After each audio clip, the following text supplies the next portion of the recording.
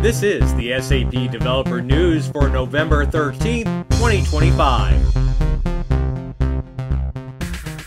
Hey everyone, we're coming to you from Sydney, Australia. This is our first stop on TechEd on Tour. Uh, we got uh, some of the team that's here in Australia. Say hi, everyone. Hi, everyone. We'll be doing hands-on sessions from the event as well as the developer garage. We're here in the developer garage on the show floor. There's Ann.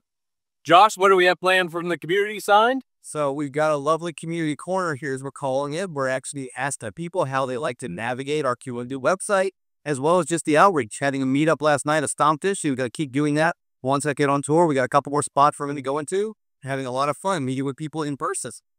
Yeah, it's been great energy. Uh, the Sumpties last night, what would you say, 70, 80 people there or so? We a good turnout, and, and uh, we're all, this is our second week on the road. Uh, for, for many of us, we'll be heading to uh, Melbourne and uh, Singapore next week for some code jams, and then on to Bangalore for the last stop for the TechEd on tour. So uh, continue to tune in to the SAP Developer News for updates on what's going on with the TechEd on Tour. And if you're in any of those cities we're coming to, we're looking forward to seeing you in the coming weeks. So until then, have fun, everybody. Bye. Howdy, developers. If you're interested in ABAP, there's a customer and partner roundtable session scheduled for next week. It's happening on November the 19th. The ABAP product team will be going over several new features related to the release of 2511. They'll also be going over new ADT features as well. A Q&A session will follow. You can find details in Ivana Han's blog post, which is linked to below. Thank you. As we heard at TechEd Berlin 2025, we're rolling out ABAP development tools for VS Code. Here's what's in the scoop now and where to read more.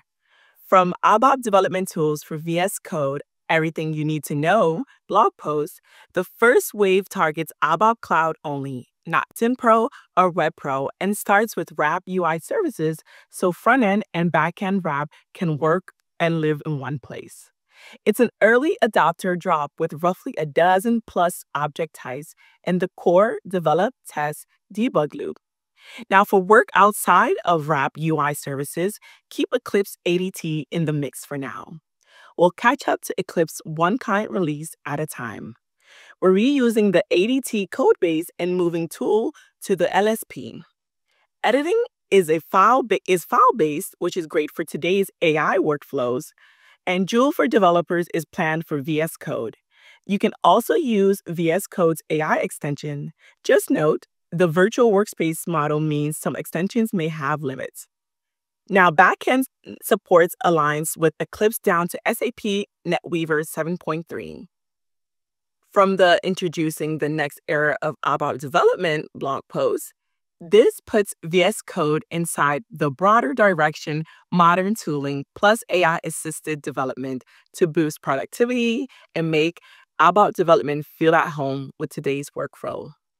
This post is the strategy view where the experience is heading and how AI features like Joules for developers will evolve alongside the tooling. Now, you can read both of these blog posts in the link below.